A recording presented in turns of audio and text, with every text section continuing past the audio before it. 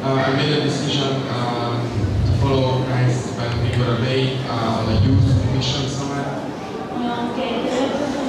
about two years ago. And I was waiting for my brother to make a decision as well, but he changed his mind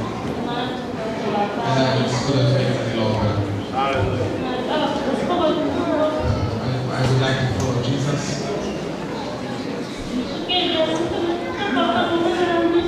And I want to raise my two children and